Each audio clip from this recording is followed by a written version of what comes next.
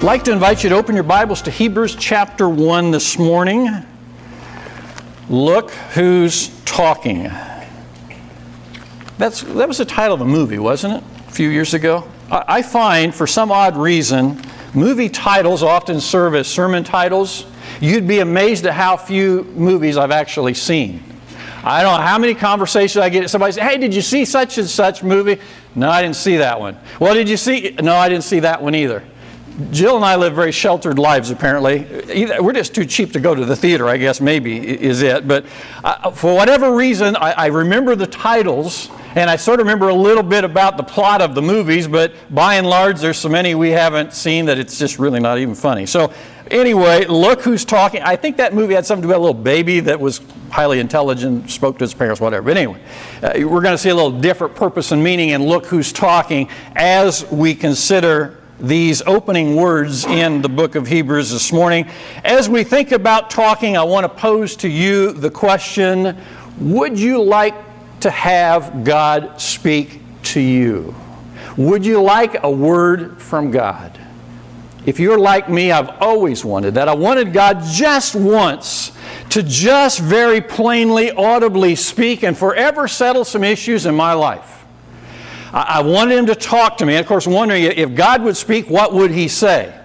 That's kind of a two edged sword because while I want a reassuring word, he might say, You know, there's some stuff you got messed up, you need to get straight in your life. And there might be that. There's that possibility. But nevertheless, it seems like a good thing that God would speak.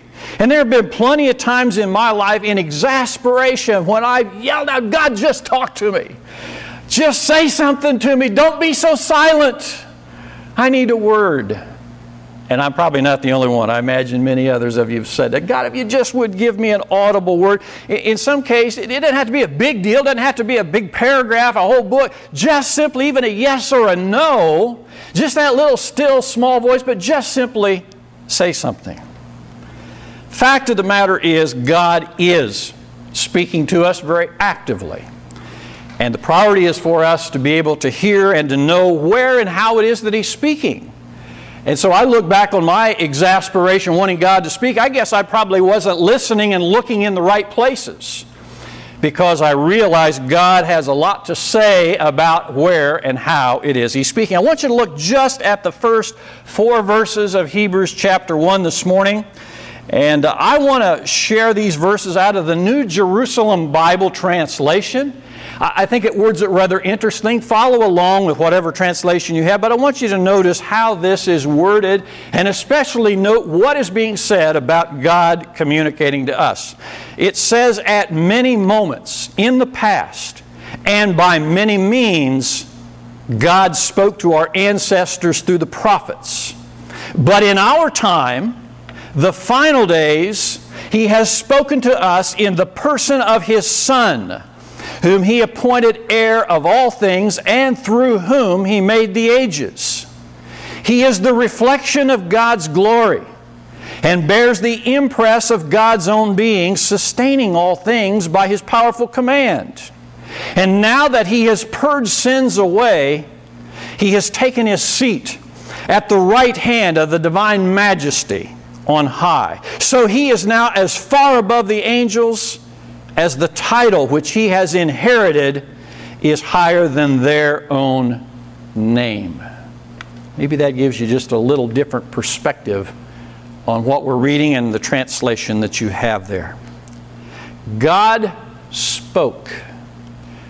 Those two words jump out at me. We have a God who has spoken. There are plenty of people that may believe that there is a, creator God who made everything that exists, but that he, he stepped away, retreated into silence, and has kind of let things just run on their own and had nothing to do or to say with it since that time. I don't believe it for a minute. I believe here that it, when it says that God spoke, that we have a God who is not silent, that God is not retreated to a distance, but that God is actively trying to communicate with His creation. And I, for one, find that very encouraging. I have a God that's engaged, a God who's with it, a God who wants to communicate certain things to me, to us, His people. The writer of Hebrews says that God spoke long ago to the fathers in the prophets. Again, God spoke, and how has God been speaking? In one particular instance, back ages ago, God spoke to the fathers, the people of Israel. God spoke through prophets. A very interesting way to communicate truth. As one writer said, it was not God's way to write His word in the sky, or to shout it for the mountains for all to hear, or to whisper it one by one in the heart of every Israelite. His usual way was to call a prophet and then inspire the prophet to speak and to write to the people what God wanted said. And such it has been. There were credentials for prophets. God also spoke and indicated how you know a real prophet from a phony.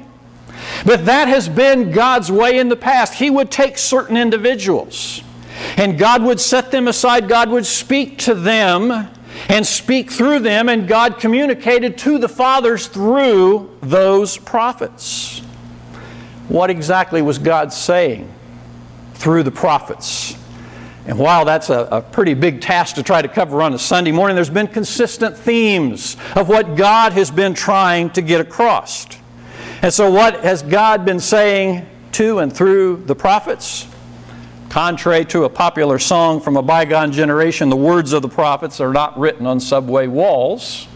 Not everybody will get that.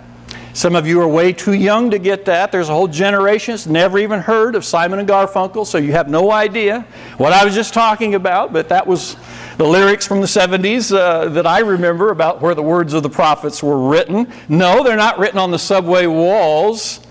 They're written in this amazing book we call the Bible. But what has God said through His prophets? Again, there's been a consistent theme. For example, Isaiah, one of the great prophets, 45 verse 5 I am Yahweh, and there is no other. Besides me, there is no God. What was God communicating in the prophets? I'm it. I'm God. I have a name and there is absolutely none other beside me. I am a singular entity. Zechariah 14, verse 9 Yahweh will be king over all the earth. In that day, the Lord will be the only one, and his name the only one. Again, something singular. There is but one God. In this case, there will just be the one God over all the earth something of his person, something of his name, something of his kingdom. That is a very consistent theme throughout all the prophets, so it should come as no surprise when Jesus comes onto the earthly scene and he teaches us how to pray. The, the two key themes that he touches on in that model prayer happen to line up with that consistent theme of the prophets Our Father, who art in heaven, hallowed, holy be your name, your kingdom come, your will be done on earth as it is in heaven. God in the past, communicating to the fathers through the prophets, says, I'm God alone, and I will reign supreme. I reign now, and ultimately on the earth I will reign supreme. His name, His reputation, and His kingdom. Those are consistent themes from the prophets. Isaiah 1 18, Come now and let us reason together, says the Lord. Though your sins are as scarlet, they will be as white as snow. Though they are red like crimson, they will be like wool. God communicated consistently regarding the problem of sin and the solution for it. A God who is holy and just, who has standards, but He says we can sit down and we can reason this through. We can deal with the problem of sin. We can take care of that. And so God has been communicating that message. Moses, the Lord uh, is speaking, uh, speaking through him. The Lord your God, he said, will raise up for you a prophet like me from among you from your countrymen, you shall listen to him. Deuteronomy 18, verse 15, a few verses down, verse 18. I will raise up a prophet from among their countrymen like you, like Moses, and I will put my words in his mouth, and he shall speak to them all that I command him. You see some consistency with that and what we just read in Hebrews. God said long ago, I got somebody I'm going to raise up, and I'm going to put my words in his mouth. And he is going to speak exactly what I tell him to speak. That fits so consistently with what we read in the first few verses in Hebrews 1. God spoke in the prophets in many portions and in many ways. When I think of the wide variety of ways that God has been trying to get His message across, He's gone to some tremendous, great lengths to do so. He set aside some prophets and gave them some vivid uh, imaginations, shall we say, uh, visions. He gave them dreams and communicated His truth in that way. One of the prophets was kind of reluctant, so he swallowed him up in a great fish. He got the message. He did what he was called to do. Another one of his prophets, he had marry a prostitute. That one always really blows my mind, but an illustration of Israel's unfaithfulness. He used the example of his own marriage to get his message across. Another was commanded to lie on his side for 390 days. And then after that, to lie on his other side for 40 days. That had to be more difficult than we could begin to imagine, but that is how God communicated His message. God went to great lengths to creatively and passionately communicate His message through those prophets. But as we read in Hebrews, in these last days, He has spoken to us in His Son. I want you to notice last days, the end of it all. In these last days, in the final form, in the last act, God is now communicating through His Son. We are living in the last days. We've been living in the last days since the days of Christ. The last days have been about 2,000 years so far. These are the last days of history as we know it before the final and full establishment of God's kingdom upon the earth. We are in the last days, and in the last days, God has one exclusive way that He is communicating. It is only through His Son, the Lord Jesus Christ. And so the writer drives home a point that we need to make sure we pick up on that, that the word that God speaks is in and through His Son. It is decisive and authoritative final words that He has. It will not be followed by any other greater word or replacement word. This is the Word of God. And in fact, it is the Word made flesh in a very real sense. So, in the final act of all of history, this is uniquely how God is communicating to us in this day. And He wants us to know that His Son is more than just one of the prophets. Again, He is His Son, the unique Son of God, uniquely qualified for God to speak through. We are told that He has been appointed, that God has put Him in charge of everything. And so God has designated him. He is the central idea through which everything that God created exists, we're told here as well. We are told that he perfectly reflects God's glory and that he perfectly and visibly represents the nature and the character of the Father who cannot be seen. You do not get a better spokesman than that. And so in the last days, God has designated him in all of those ways in these last days, God is communicating exclusively through His Son. And when I read that in the last days, He's communicating through His Son, I take that to mean that He was not around for God to communicate through before that time.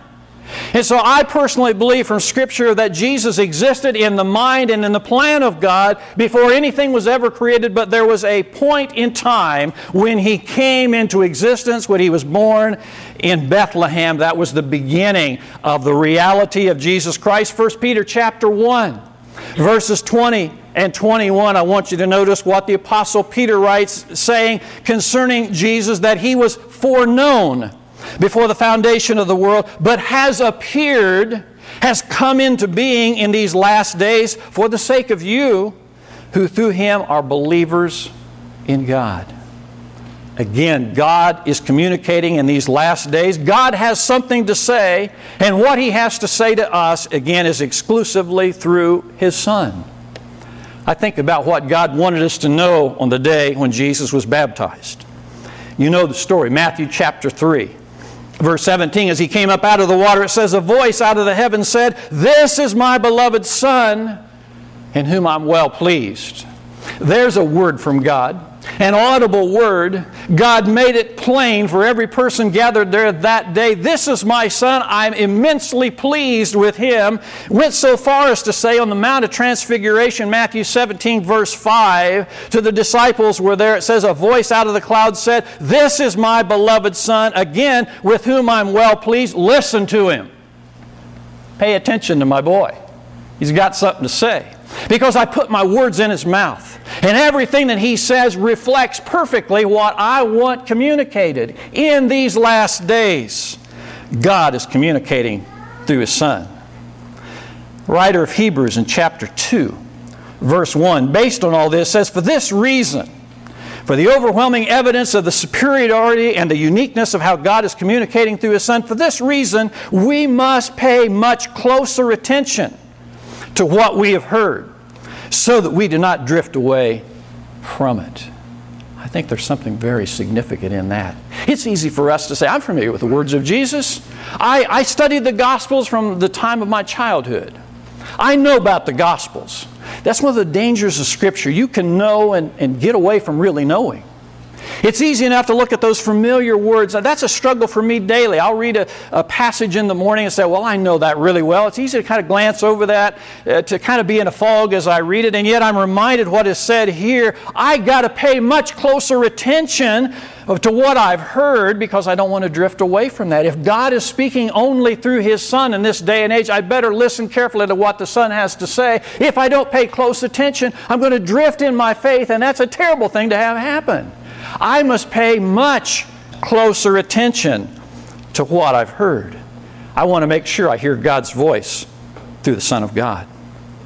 John chapter 8, verse 28, Jesus said, When you lift up the Son of Man, then you will know that I am He, and I do nothing on my own initiative, that I speak these things as the Father taught me. An amazingly consistent thing concerning Jesus is he always deferred to his Father. Never once, I, I, challenge you, never once in Scripture, in the Gospels in particular, will you find him taking credit for something himself. He always deferred it to his Father, giving us a great pattern and example. I do nothing of my own initiative. I don't teach anything of my own initiative. I, I received it from the Father. What I see him doing, that's what I do. What I've been taught by the Father, that's what I teach to you. And so, in all humility, he defers to his heavenly Father and as such, God is indeed speaking to and through him. We need to pay much closer attention to what God is saying through his son Jesus.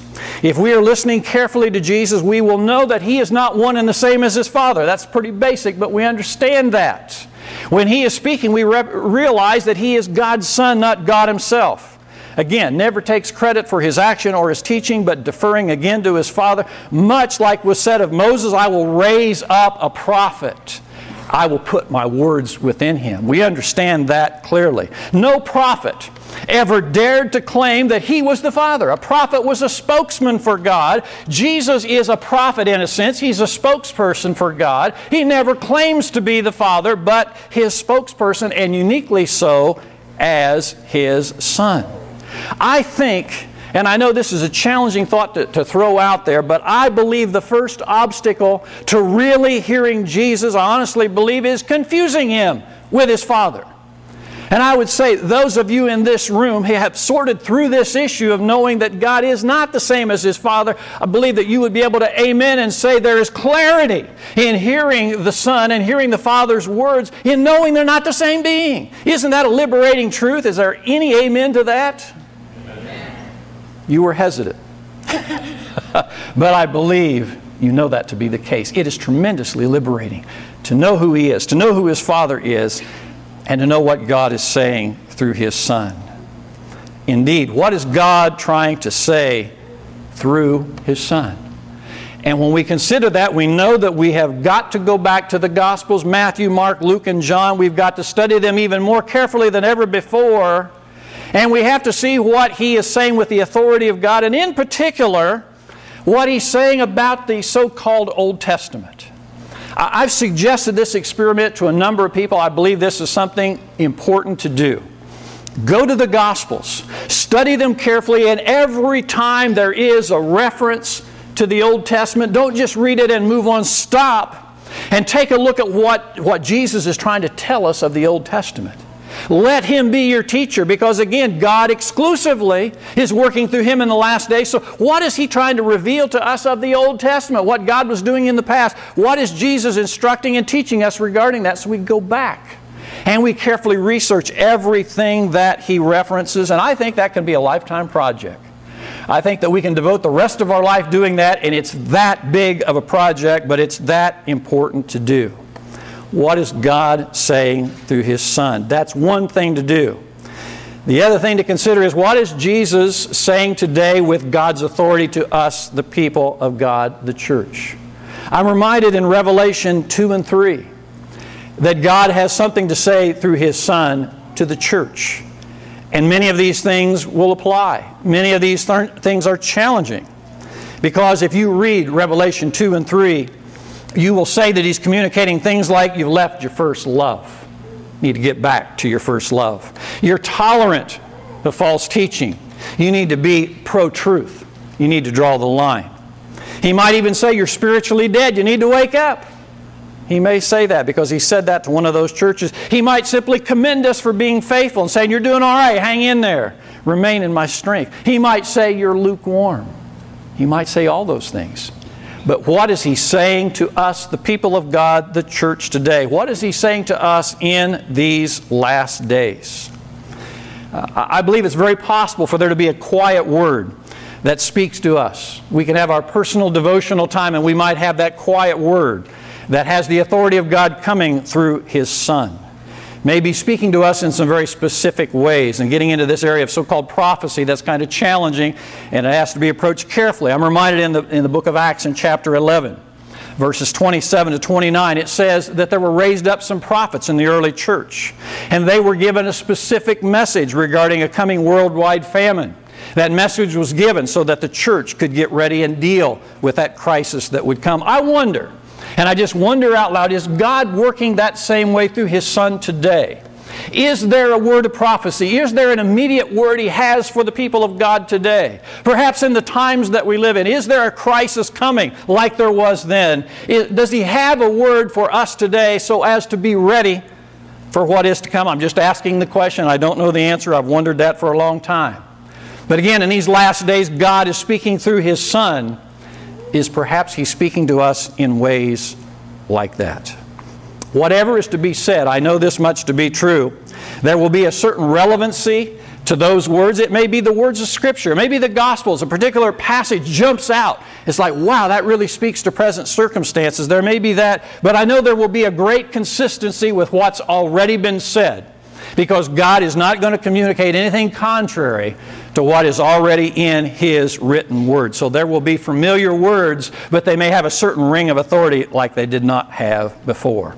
Again, we must pay much closer attention to what we have heard so that we do not drift away from it.